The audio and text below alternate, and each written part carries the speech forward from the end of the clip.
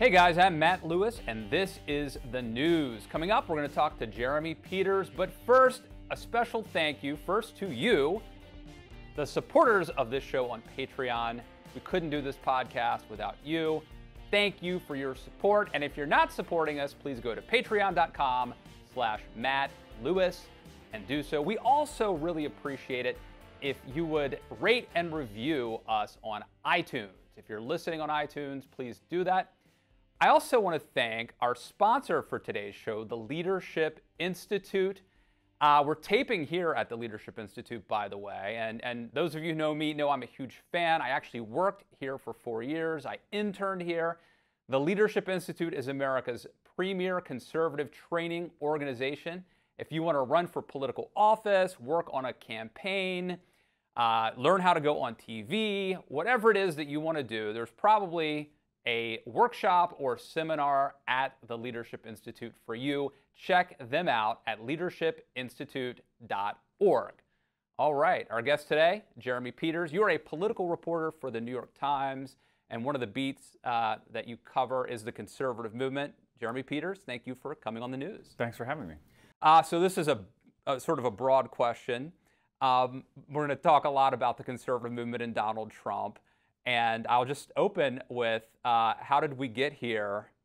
As when you look at the conservative movement, and I know you covered like the Romney campaign in 2012, and we're sitting here now in 2019. Let's talk about some of the trends that got us here. Maybe things that surprised you.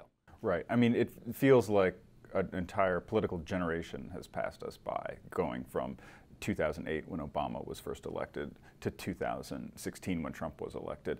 But in a lot of ways, many of the same trends and attitudes and emotions that were so potent in conservative and Republican politics are manifesting themselves today and were really responsible for getting us to Donald Trump. And I think that you start with Sarah Palin in 2008, this populist Republican governor who was anti establishment, who then becomes somewhat radicalized once she sees that taking on Obama, sometimes in not so subtly racial, religious tones, gets her an audience, a national following, and she becomes a much bigger figure in the party, much more important for where it was going than her running mate, the Republican nominee himself, John McCain. Yeah, and I think in some ways maybe Palin is like a John the Baptist, kind of, of a har- harbinger of things to come for the Republican Party and Trump, and maybe even for the Democrats and the squad.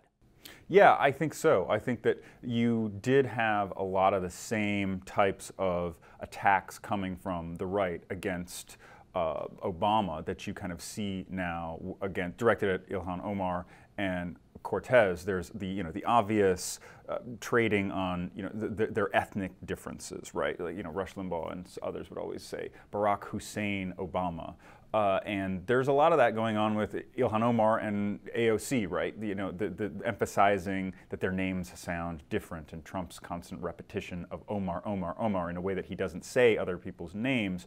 It's meant to call attention to their otherness, and it, it's working. Well, the, one of the things that's happening now, I think, just in general, like in the media, and, and is there's a fine line between like satire and satire and dog whistles, and I think the alt right were very good at sort of putting things out there that like were maybe anti-Semitic, but then oh, you just don't get it; it's just a joke. And and I think that part of what Rush does is he's an entertainer, and so like when he'll say Cortez's last name and he does it like in a Spanish accent. I mean, you could sort of write that off as like, hey, I'm just having fun, I'm just being funny. Um, Which is um, exactly what he does, yeah. right? It's it, and and you know they've been doing that for a long time. These guys, it's it's like, well, no, you're you're the ones, the people on the left and the main, mainstream media who have it wrong when you get all bent out of shape because I'm just trying to have a good time. But I think there are listeners in his audience who certainly see Ilhan Omar and AOC for their ethnicity and as anti-American because people like Rush talk that. Right. So we start off with I think Palin was definitely if, if you're charting this from 2008, certainly Palin's a big uh, data point. Um, Obama, um, Obama's reelection, certainly the the recession, uh, the Tea Party. What are some of the some of the moments that you think were important? You know, I've been working on a book about this now for the last year or so, writing it. And one of the things that I, I, think is so interesting when you go back and you look at some of these moments and how catalytic they were is you look closely enough. Not only were the emotions there and, and, and the anxiety and the frustrations, but Trump was there himself as well. Because Trump, of course, has a relationship with Sarah Palin that starts earlier than most people realize. It starts in about 2010, 11. He's been watching her. He sees her on TV being the, the voracious consumer of cable news that he is. And he says to himself, you know, if she can do that, I can do it. Because she, of course, has a Fox gig. She was one of the first to really utilize her platform on Fox to become a populist conservative phenomenon. And it's not that far after that when you have Donald Trump who starts talking about uh, Barack Obama's birth certificate, which Palin never really touched. Uh, she just kind of more insinuated other things like Obama palling around with terrorists or whatever, but she never directly questioned where he was born. Um, Trump, however, being this, taking it to the next level, having absolutely no shame whatsoever when it comes to these kind of culturally, racially, yeah. ethnically charged issues, takes it to the next level.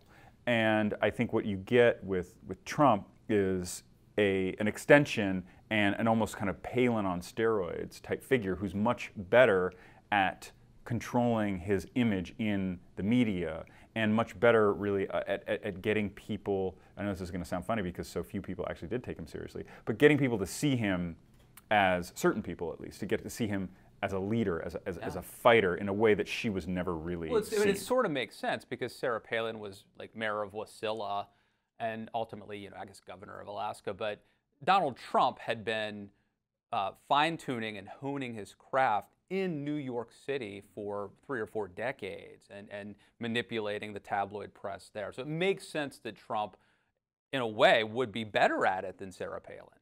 Oh yeah, absolutely. And his training in media, his the, the, fact that he was a reality television star at a broadcast television network helped immensely. I mean, he, it, it, you look at him today when he comes down the stairs of Air Force One, or he steps out of the White House, or he is sitting there at the, at the Resolute desk in the Oval Office.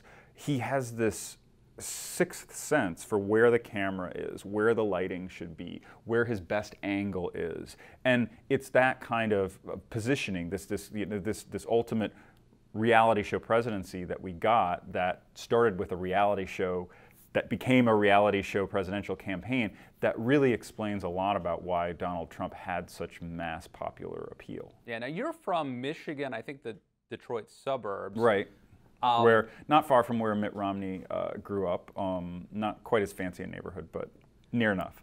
so no, I guess that that in a way that undermines my argument, um, which is to say, you know, this is the Rust Belt, so you're at least right. you're around working class folks, at least you know in the same state. It's a Rust Belt state. Did that give you, as a reporter covering the conservative movement, did that give you any insight, maybe, uh, in the plight of Middle America? I remember once going to a Trump rally outside of Flint, Michigan in August of 2015. And it was the first time I saw one where thousands and people, thousands and thousands of people showed up. I'd seen them before, uh, but in small towns in New Hampshire where hundreds of people showed up, and that was still pretty unusual. But to see outside of Flint, Michigan, these people waiting in line in the hot sun to see Donald Trump something was amiss. And I, I, went back and I talked to folks later who were working for the state Republican Party and asked them at what point did you start to sense that Michigan was in play? And they all traced it back to that particular mm. rally because they didn't recognize the people there when they were signing or trying to get signatures for a petition for something that was going to be on the ballot they couldn't get the signatures because it was for this traditional kind of uh, this, this, obscure issue, local issue um, that you think most Tea Party type fiscal conservatives would be for. They couldn't get people to sign it. And what's more is uh, they didn't see the people that you would usually see at a Republican rally. They saw a lot of union T-shirts, for example, yeah. and that was a, a, the first real sense that I had, uh, and, and, others have validated this. That really there was something wrong in the Republican Party that they weren't showing up to see Jeb Bush. Yeah. They weren't showing up uh, to see Marco Rubio. They were there to see Trump. You mentioned the Tea Party, and this is a movement which um, ostensibly was was about uh, fiscal sanity and, and worried about uh, right. you know the economy and supposedly spending. and, and but now the a lot of the Tea Party folks and like the Freedom Caucus, for example, are perfectly fine with Donald Trump and the ballooning debt and deficits, which I think raises the question: Were they ever? Was the Tea Party movement ever really about fiscal responsibility and worries about you know, passing on to our grandchildren our debt, or, or was there something else lurking underneath? So I've been thinking about this a lot lately, and I think that because the Tea Party fundamentally was an anti-Obama movement, an anti-left movement, they were much more concerned with the debt and the spending when it was being controlled by Democrats and Obama, who was for them like the avatar of the failed socialist state. He's going to do to our country what happened in Western Europe and look at how look at in, uh, Europe in decline. Fast forward to Donald Trump and his message of American renewal and greatness. And I think what you get is two things. A captivating leader who has created this following that really is, is, is more about personality than it is about policy. You have that. And then you have the idea that, okay, he's taking our country in a different direction. We're more comfortable with where he's going than we were under Obama. So we can kind of overlook some of this stuff on the fiscal side, the ballooning deficit, and as long as he's delivering on other things, as long as we can be confident that he has built this economy kept it strong and will keep us on that path. Now, of course, I mean, the debt and the deficit levels are just unbelievable. And I find it hard to believe that if you were to put these guys to a lie detector machine, they would say that they were not at all concerned about the spending bill that their president had just signed. I'd love to get your, um, I don't know, uh, analysis on conservatives. So, like, from my standpoint, I can tell you, like I when I was a kid growing up, it was like Alex P. Keaton, yeah. Ronald Reagan, right, and they were both pretty awesome, right. And Ray, I listened to Reagan's rhetoric, which was by and large. I mean, I know there are people talk about some of the uh, examples, but by and large, it was optimistic and unifying and inspirational, and um, and then, you know, I wasn't a huge George W. Bush fan, but, you know, just sort of, if you go a linear progression, you get to George W. Bush, and he's talking about how family values don't end at the Rio Grande, right? And so we had you know Reagan and Kemp. Those were kind of the big influences, and I I believe that that's basically what conservatism was, right? And then you end up with maybe like a Marco Rubio, right? Not a Donald Trump. the right to rise and Paul Ryan and that kind of thing. Um, yeah. And all those so, guys who came of age when Reagan was president yeah. in the 80s, right? They were kind right. of like the natural uh, uh, inheritors of his legacy. Absolutely. And you interview a ton of conservatives. Like I know there are a lot of people who are very well sourced in Congress, like they talk to staffers and politicians like the Freedom Caucus. But you talk to a lot of conservative movement leaders. And I know we're all individuals. I mean, everyone's different. I'm not a conservative movement leader, but everyone's everyone's different, but like just a psychological profile. I mean, there's a cognitive dissonance going on. Like, are what do you read when you talk to people who like grew up with Reagan and now they have Trump? What do you think happened? How did you know? It's it's a weird question to ask. I realize, but I'm I'm, I'm so fascinated by this. Mm-hmm. Yeah, right. Well, this is this is kind of what I've been struggling with over the last years. I've been writing this book, right? Because it's how do you go from Reagan, who had this optimistic message, who was by all accounts like a cheery, warm guy, to a president who is really in so many ways just the opposite. Uh, this Republican I was talking to the other day, who's very critical of Trump, made the point that you know Reagan was never a bully. Like you may have disagreed with him on policy, and there may have been some policies he enacted uh, or he failed to act on, like HIV, AIDS, uh, you know, the homelessness problem in, in, in the United States, uh, th- that you know caused certain people real harm. Uh, you can take issue with that, but at his core, he wasn't a mean-spirited individual.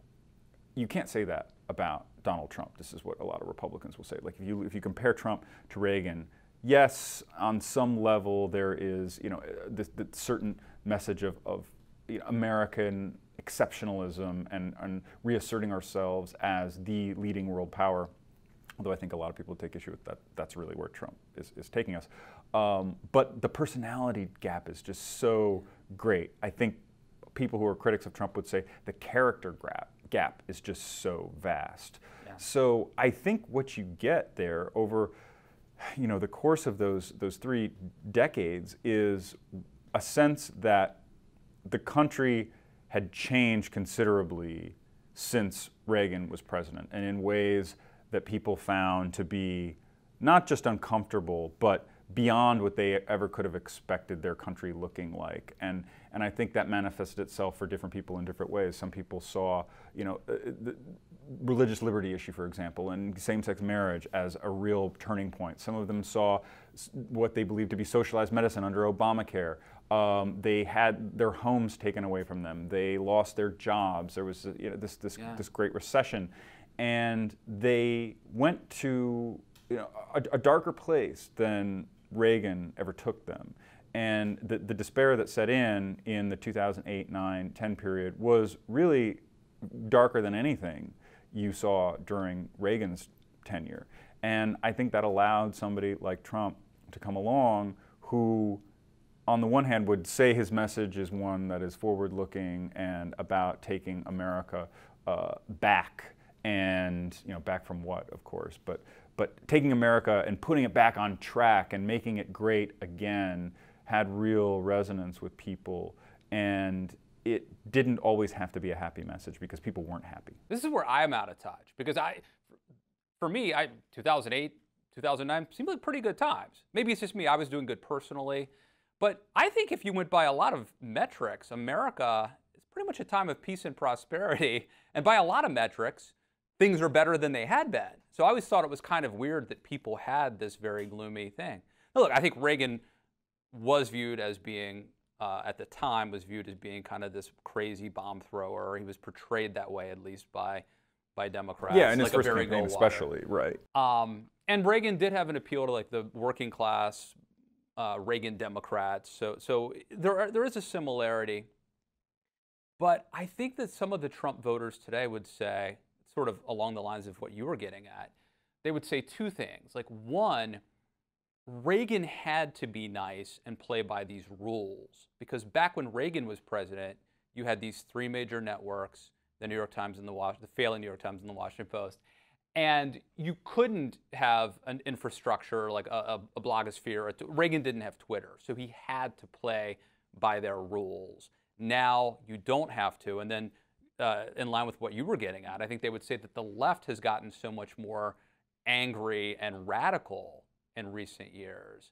And um, I don't know if I would buy that that was true in 2008, but I definitely think maybe as a response to Trump, ironically, the left has gone pretty radical recently.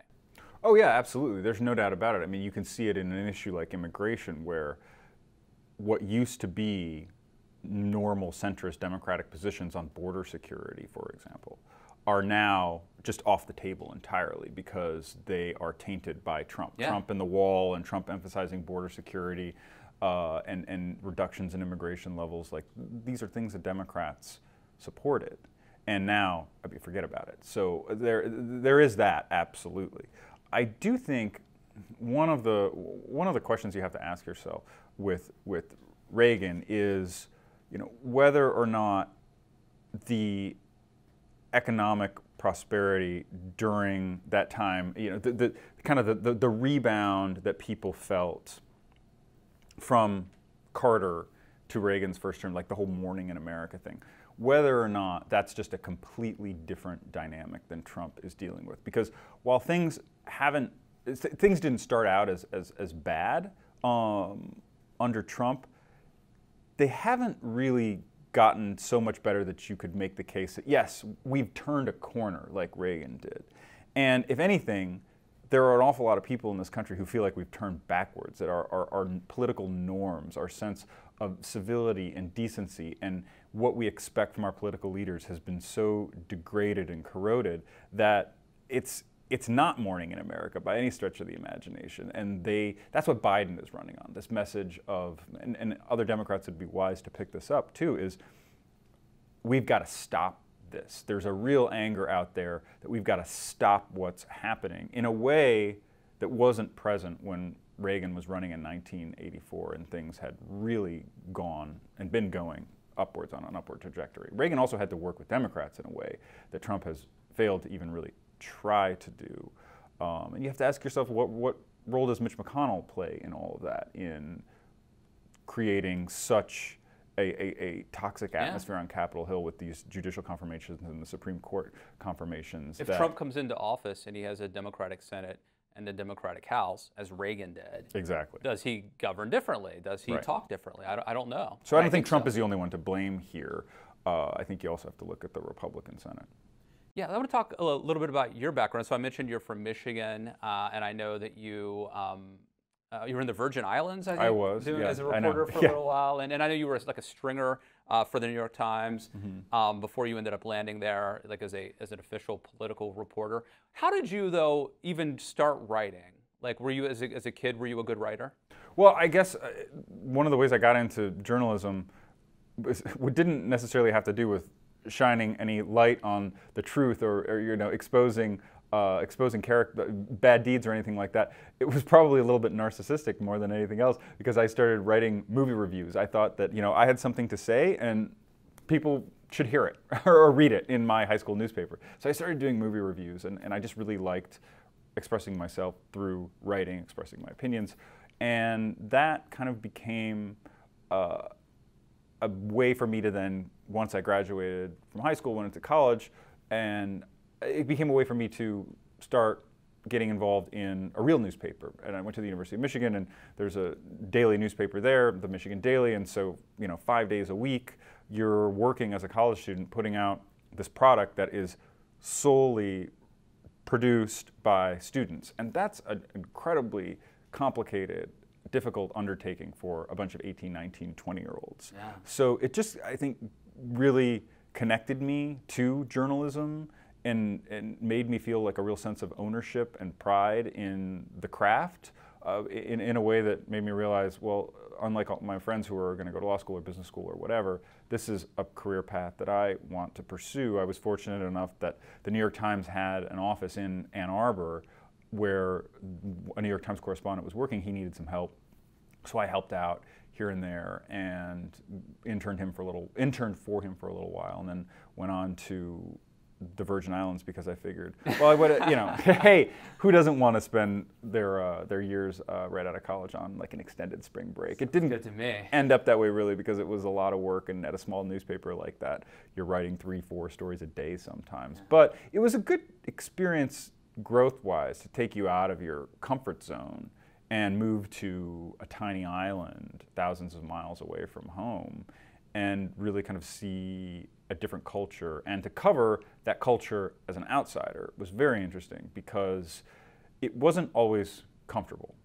You're, as a reporter, exposing the government for its inefficiencies, sometimes it's corruption, mismanagement, and if you're coming from the outside, especially if you're of a different race, because the Virgin Islands is overwhelmingly black, it got awkward at times, and there were accusations always thrown at the newspaper you know, by local politicians that you know there was this inherent racial bias. I never saw it that way, um, but it did kind of force you to realize that people are going to see you and your journalism differently um, in, in, all walks of life, in all subject matters, and it, it was a real lesson. Probably good training too for oh, yeah. dealing with uh, exactly climate. So you said about no uh, you started off writing these movie reviews. Is that just a way to get your foot in the door, or are you are you a movie buff? Yeah, I like at the time. You know, this was this was in the late '90s, so there was like this golden age of film, from you know Fargo to Pulp Fiction, and I just was really you know, go, go, basically going to see a movie every weekend, even before I could drive. I would go with my dad and go see screenings and watch Siskel and Ebert, and you know read the New York Times reviews, and Uh, and so that was, uh, you know, kind of my uh, my hobby in high school, later high school, and it just happened to be that, that you know I ended up going into news writing. I don't think there was anything that kind of I I think I wanted the I like the energy of a daily news cycle more than I liked being, you know, a, a cultural critic of yeah. any kind. Um, just it's kind of better suited to my my metabolism. How do you? It has to be hard to ramp up to to write intelligently and fairly to cover to report on something. You go to the Virgin Islands, uh, you have to know who the, the players are, the local culture, the customs, the tradition. Right. You covered the auto industry. I mean, you grew up in Michigan, but you probably had to learn a little bit about the auto industry and the economy uh, and now covering the conservative movement. How did you, how do you ramp up? Because you could, you could look silly. You could, you could get the wrong Brent Bozell or something. Yeah. You know, which I've done. Yeah. You know, you could, you could look silly in the New York Times and confirm the stereotype about you know the liberal elite New York Times uh, reporter. Like, how did you ramp up on that? Yeah, so that's it's a great question because I think that if it's learning by your mistakes, right? So there were inevitably the times where you would get something wrong, and it was, a, you know, especially when I started out in the Virgin Islands, that kind of sensitivity about writing about a culture that was different from yours. Uh, it was really kind of ingrained in me, and being extra sensitive to not, you know, assuming that you know everything, right? And as a 22 year old, that can be hard because, you know, 22 year olds always think they know everything. But, you know, I felt, I, I just felt that in covering conservatives, especially, uh, as long as you listen to them and you present yourself because uh, remember i mean i'm coming from the new york times i might as well have like a scarlet letter branded on me or you know people assume that i, I have a, a, hammer and sickle tattooed on my arm uh, at first when i approach them and once i think you just let them know that you're curious in why they believe what they believe, who they support, these kinds of things, it goes a long way. You know, because I think people will see me, hopefully, for what I am, which is like sincere and earnest in trying to actually figure out why we are in this moment that we are in. So you develop relationships and sources with conservatives, and they'll gain trust knowing that when you write something or report something, they may not agree with the way it comes out, but you're not. It's not going to be a gotcha. You're not out to like screw them or something. I think a big lesson from the whole Trump era and the mistakes that the media made in 2015 and 16 was not taking him seriously. And I think that taking my subjects seriously, taking the subject matter seriously as a viable political movement, as a real potent force in American politics right now. Uh, that these people who you know, who show up at the Trump rallies are part of something bigger that's happening in our country right now. Treating them that way goes a long way. Yeah. Well, my, my mom voted for Trump. You know, drove people to the polls to vote for Trump. My mom's a great person. Um, I've met Donald Trump exactly once. I found him to be actually delightful in person. Uh, how much interaction have you have you had with him? I'm guessing maybe um, he probably love he he hate loves the New York Times. So yeah, uh, it's, it's, like a yeah. hate read. Uh, but he always had a reverence and a respect for what we did. Remember, famously, after he was elected, came to the New York Times and called it a jewel. Right? It's not exactly enemy of the state type talk, but I got to know Trump writing for the New York Times as I did uh, in New York when I was actually working for the Metro desk and I was covering local state politics. And there was a proposal on the table in Albany that would have implemented a millionaire's tax because this is right around the time that New York State, like many other states, were facing this huge fiscal crisis. And I thought to myself, you know, looking back on it somewhat naively, like, well, why don't I just call like one of the richest guys in town and see what he thinks about this millionaire's tax? And sure enough, I called Donald Trump, uh, expecting to leave a message with an assistant that you know, he'll call you back, which is usually what happens when you're a reporter calling for somebody who's high profile. He got right on the phone.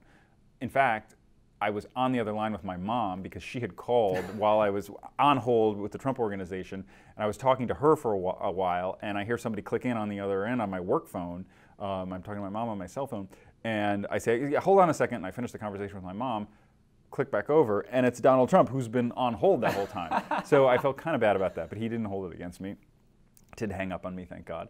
Uh, but he, point being, he really wanted to talk to the New York Times. Uh, he wants wants to talk to a lot of media, and I every once in a while would bring him up for a story I was working on. I think the next time I really talked with him extensively was in two would have been 2010 or 11 no it would have been 11 right when he had kicked up the whole birther controversy and seized that as his way of getting attention and learned very quickly that it was a way to get the Tea Party, Sarah Palin type conservatives really energized. And I don't think he actually believed any of this at first. I think he saw it as something that got him affirmation and something that got applause and something that would get him booked on Bill O'Reilly and Sean Hannity. But that was, I think, a real lesson to him, and it's a lesson that he carried forward into the 2016 campaign. So you recently wrote a piece. Uh, it's not about the conservative movement. called Pete Buttigieg's Life in the Closet, and you talk about how he actually came out pretty late in life, mm-hmm. and and the piece uh, talks about how politics is maybe uh, an area that was that was maybe less accommodating for someone who was gay. Mm-hmm. if you were in a different industry, maybe you would come out sooner. This was on the heels, if I remember correctly, your piece was on the heels of, of a new of a New Republic piece mm-hmm, that was very poll, right? Yeah, very homophobic. Odd. I'm not sure how I would even describe that piece. It was very yeah. mean, yeah, uh, and conde- and condescending. What kind of response have you gotten from that piece, like from Mayor Buttigieg or from others? Well, I never heard from the mayor or from any of his people about it, which uh, you know tells me that I think they were probably fine with it. Uh, usually, you hear if they don't, yeah. if there are problems with it. So they didn't ask for any corrections or anything like that. Uh, and I, I mean, that piece was, I think, unique in telling Pete's story because, you know, obviously coming from the David Axelrod, Barack Obama school of politics, your narrative is very important. And Pete understands that. He has told his story very well. He's told certain parts of his story that he wants us to know and wants to emphasize uh, over and over and, and left us with like a certain impression of what it was like for him to come out, then get married very quickly and to be accepted and to have that be fine. But I felt like what hadn't been told was the extent to which he struggled with this and the environment in which he did that. And you have to remember this is like a rapidly changing time for people who were struggling to come out of the closet for gay rights and for acceptance because his class and you know i'm his age and I, I, can remember this you know by the time you get to college like you know matthew shepard had just been murdered in wyoming the number of openly gay national political figure, figures you could probably count on one hand and there were all of these ballot initiatives being pushed in states to enact constitutional amendments that would ban same-sex marriage, um, supported by a lot of Democrats, by the way. So, uh, you know, things changed from that to, you know, over, over the course of like five or six years, being much more accepted. States started passing gay marriage, making it legal. The courts were pushing it through, and more, more and more politicians came out culturally it became more accepting. You'd see more openly gay characters portrayed on television shows and in the movies. And some people took that as a reason to come out. Like, okay, now I can finally make it's not this career ending like this this this social life destroying move. Uh, people will accept me for who I am. Pete took longer to come to that realization. And when I talked to him about it, it, it seemed pretty clear that what he was really worried about was the political component. Uh, some people would say that's very calculating, and they would say that that's eh, not really how they would have done it. Uh, it's not how they did it. But I think you know he was pretty honest with me, and I give him, have to give him some credit for this in saying, "Look, I knew that I always wanted to go in politics because you know, he was the president of the Institute of Politics at Harvard. He had thought about running for office. Uh, he had gone into the Navy Reserves. He had plotted his life along very carefully. to a certain endpoint, an endpoint which one of his friends candidly told me in the piece was to be president of the United States. And at the time, it was unthinkable to him that there could ever be an openly gay candidate for the president of the United States. And I, I think he was right at that point. So to see him all of a sudden go from this closeted 33 year old to, at 37, the first credible, serious, openly gay candidate for president is pretty remarkable. Yeah. You've written about your sexual orientation before. Um, I don't think I'm outing anything here. no. You've written about this, I think. Right. Yeah, no, I have, yes. Um, did, did that, it, I don't know if, if you want to talk about how that might have impacted yeah. the way you viewed that story or if journalism's different from politics, if you felt some of the same things that he felt. I did. That's what I was so drawn to, like eh, reporting out in in the piece, because at the same time that Pete was wrestling with this, I remember having the same types of conversations in my head, of course, not really with anybody else, because I didn't want to talk to, about it with anybody else. But thinking, okay, what would happen to me? What would happen to my circle of friends? Would my relationships change? What would happen at work, would I, as a reporter, be treated differently, especially in a place like the Virgin Islands, where you know in the Caribbean, homophobia is endemic and remains that way. And I, because that's where I ended up coming out uh, when I was 23, and it was this conversation just like Pete described. Okay, when is it going to be okay? Am I going to be accepted? Um, I think media is kind of a different profession than politics. So I had, you know, the, the, luxury of not really having to worry about it. I wasn't planning on running for president of the United States someday, so I didn't think about it in those types of, uh, of lofty terms. But it was one of those situations where our experience in those few years, being born from like, you know, 1978 to 2002 or whatever, when you are coming of age, graduating college, having your first real job and also struggling with this secret and how to start telling people was very unique. It's like this certain this micro generation, and it coincided with this rapid cultural, political, and legal change that no one had ever seen before. Barack Obama was against gay marriage not that long ago. Right. So it was so really very quick. Yeah, it was really like for people like me, it was really the sense of whiplash. Like what? Okay, going from like unthinkable to realistic to fact, right? It's, it's happening. And I think that was disorienting for a lot of people. What do you make out of that, that New Republic piece, though? Like, they called him, uh, instead of Mary, instead of Mayor Pete, they called him Mary Pete. Right. What's, what's behind that kind of like help me make yeah. sense of this. Um, why, why, does that get why does that get written? Yeah. Why does that get greenlit? A lack of editing um, and probably downsizing at an yeah. institution like the New Republic that doesn't have the kind of guardrails that it used to, where they just kind of let things slip through the cracks that otherwise wouldn't have. I think that's probably it more than anything else. I can't imagine. Uh, I really can't. I, it was so puzzling why they ran something like that that was so derogatory. Like I kept waiting for the moment in the piece where it said, "This is a joke. This is satire," right? right? But it never, it never came.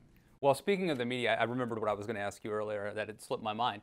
Um, how much do you blame the media for Trump getting elected and then for taking the bait and helping kind of advance Trump's whatever whatever you don't like about Trump?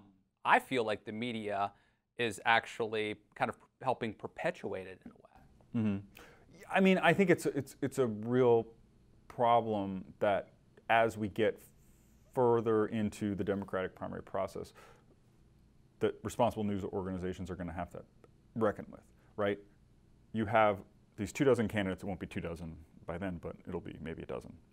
They're running, yet Trump is commanding such an outsized amount of attention, and he is really kind of dictating the terms of their primary fight, forcing them and really forcing, not forcing, but leading the moderators to ask these questions about issues that are really only being debated by a small portion of the Democratic Party, this you know, very uh, far left activist group that says, yes, we should give health care to undocumented, undocumented immigrants. Um, we should decriminalize crossing the border illegally. We should take away private insurance. Like th- these are not proposals, ideas that have a large constituency. Yet, if you listen to the questions at the debate, you would think that this is what everybody in the Democratic Party right now is preoccupied with. That's not been my experience in going out in the country and talking to voters. In fact, the opposite has been the case. Like they're worried about their own bottom lines, and I think what a lot of people will say, just using immigration as an example, wait, you know, you're talking about taking away my health care, but then giving it to somebody who's here illegally. That's a big problem for the party. And, the- and the smartest Democratic strategists I talk to know that and are trying to figure out a way to pull the conversation back toward the center. But I think it's kind of a problem that you saw in, it, it's the same kind of problem you saw in 2012 when Romney was running and got all tripped up over contraception. And there was this question about, you know, whether or not he really believed that contraception was right. And it, I'm still Pull- skeptical. That was a weird question. it really was. That was George Stephanopoulos, I I believe. believe so, And it was out of the blue, and it seemed to me to be a setup. It seems like he was fed that by Democrats or something because it was apropos of nothing as far as I'm concerned. It was completely random. I think Romney was surprised. And and and then all of a sudden Clearly he was, it leads yes. to this war on women thing. And it just it was a weird question. I'm very curious about that. I don't know the genesis of it, but I do know that it was so far afield and left people with, I think, like a, it, it, Romney didn't do a great job of answering No. it, so he has to own that himself. But it left people with a kind of a, a- an incorrect perception of where the Republican mainstream was on something as basic as contraception, um, which you know no one at the time was seriously talking about outlawing. Um, it- it's so I think that when moderators ask questions that are outside of Raise kind of your the- hand if Yeah. you believe in evolution or something. Right. Yeah. Yeah. Exactly. Like those. You know, I, I get it. They're they're they're great moments for TV, but ultimately, what service are they to voters when they're kind of just fodder for the other political team, right? Sometimes I think that Donald Trump is writing these questions himself. like when Kamala Harris got asked, "Do you think that extending voting rights to felons means that the terrorists who committed the Boston bombing should be allowed to vote too?" And she says, "We have to have a conversation about that." No, that's not a conversation. Well, this is what Republicans we went, need to be having. Republicans went through the mirror image of this in 12 and 16 in their Yes. primaries. And the funny thing is, it's oftentimes your own ostensibly team, right? In this case, it's MSNBC asking hard questions uh, to Democrats or, or wedge issues actually, and uh, oftentimes it Fox would be uh, doing that to Republicans. You brought up a point with Romney uh, being asked about contraception, though. What do you say to Republicans and conservatives who feel like, look, Mitt Romney was a really decent, honorable guy.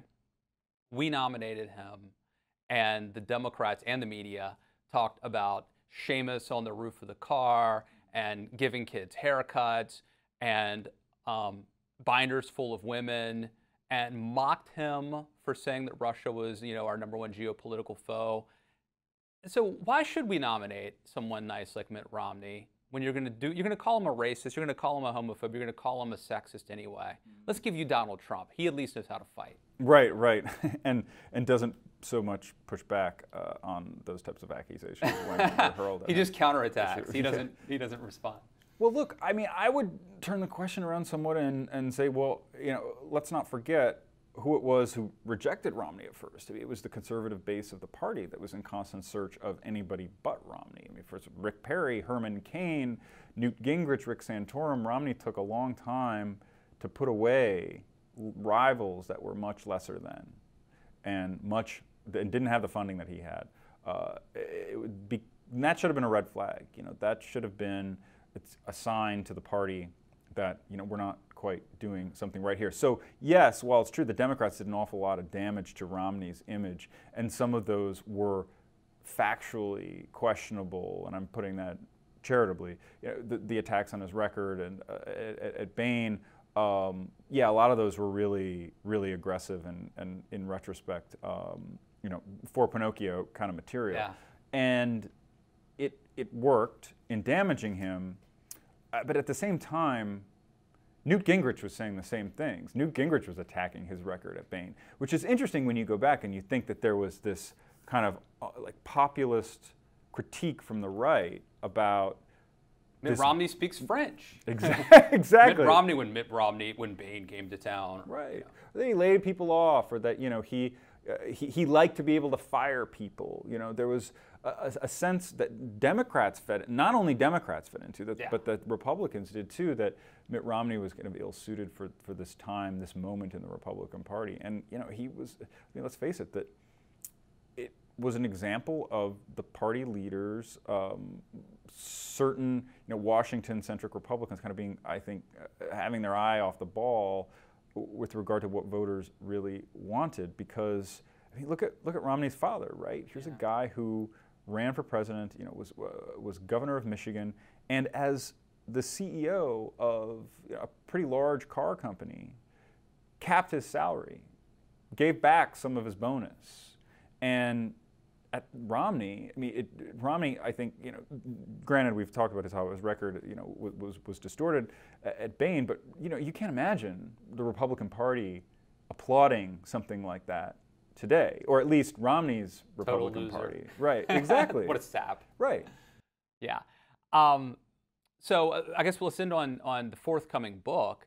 Um, I guess one question I would have is, you know, we're now in the Trump era for for two and a half years or whatever, um, and you have Michael Wolff has come out with a couple of very controversial but very gossipy books. Um, Tim Alberta uh, came out with a very kind of uh, heralded and, and popular book about the administration. Does this create pressure on you, or are you just like, no, I'm going to play my game. I'm going to do my reporting. Like, are you? Yeah. Do you have to like kind of look in the rearview mirror and see what other people are doing? Oh yeah, always. You have to adjust, and there have been moments when you know, I will read a, one of these books that's been written about the Trump administration and say, "Ah, I had that story, and now it's out there. So you have to adjust like that. Um, I do think you know, watching the success of these books has been both like heartening and terrifying because it's heartening that there's interest, right? Whether or not that interest uh, remains, I don't know. But it also, you know, sets a really high bar, and that's a little terrifying. Uh, so it kind of gives me a lot more incentive to make my book different. My book was always going to be a little different than any of the ones that I've seen out there. It wasn't going to be a you know a gossipy inside the West Wing account of all the infighting. Um, it wasn't going to be a you know comprehensive history of the, the Republican Party. It was more going to be a look at the people, the institutions, the moments that got us to Donald Trump. The moments when you look back on them and through re-reporting and, and analysis and talking to the players involved on the front lines, you get a sense that somebody like Trump was just, in many cases, was perfect to seize the anger and the frustration that was building up. All right. Well, I'm not going to ask you to give us any teasers or or leaks. I'll just say, um, will you come back on when the book is out? I would love to, yes, if you'll have me. All right. In the meantime, how can people can read you at the New York Times? How can That's they right. Follow, follow me you on on Twitter. Yeah, JW Peters NYT, Facebook, all that. Awesome. Well, Jeremy Peters, thank you for coming on the news. Thanks for having me. If you like this podcast, rate and review it on iTunes. Follow Matt on Twitter at Matt K. Lewis. Thank you for listening to Matt Lewis and the News.